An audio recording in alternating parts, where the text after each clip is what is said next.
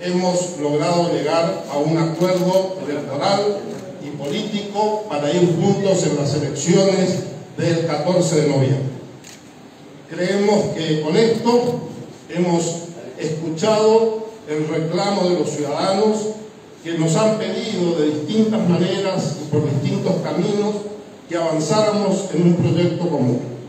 La dirigencia entendió toda que es tiempo de escuchar.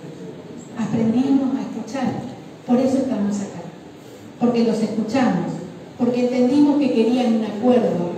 Y por escuchar a la gente he decidido renunciar a mi candidatura a diputada nacional, porque entiendo que debo acompañar a Fernando Carvajal, que sacó más votos dentro de la oposición, para profundizar no solo el modelo que venimos a presentar, garantizar que Fernando sea nuestro diputado nacional y sea nuestra voz en el Congreso, de toda la, la oposición, como dijo él, con las diferencias también.